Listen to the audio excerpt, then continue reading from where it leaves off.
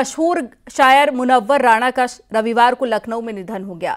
वो इकहत्तर साल के थे और काफ़ी दिनों से एस पीजीआई में भर्ती थे। वो काफ़ी समय से बीमार चल रहे थे और 26 नवंबर उन्नीस सौ बावन को रायबरेली में जन्मे मुनव्वर राणा उर्दू साहित्य के बड़े नाम हैं और उन्हें 2014 में साहित्य अकादमी पुरस्कार से भी नवाजा गया और बीते दिनों किडनी संबंधित परेशानियों के बाद में उन्हें लखनऊ स्थित अस्पताल में भर्ती कराया गया था। यहाँ से आईसीयू वार्ड में भर्ती थे और रविवार देर रात साढ़े ग्यारह बजे के आसपास उन्होंने अंतिम सांस ली।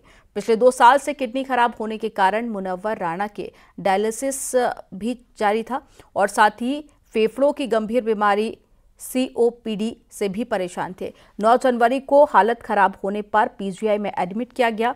मुनव्वर राणा देश के जाने माने शायरों में गिने जाते हैं। उन्हें साहित्य, अकादमी और साथ ही माटी रत्न सम्मान के अलावा भी कविता का कबीर सम्मान और अमीर खुसरो अवार्ड और गालिब अवार्ड से नवाजा जा चुका है।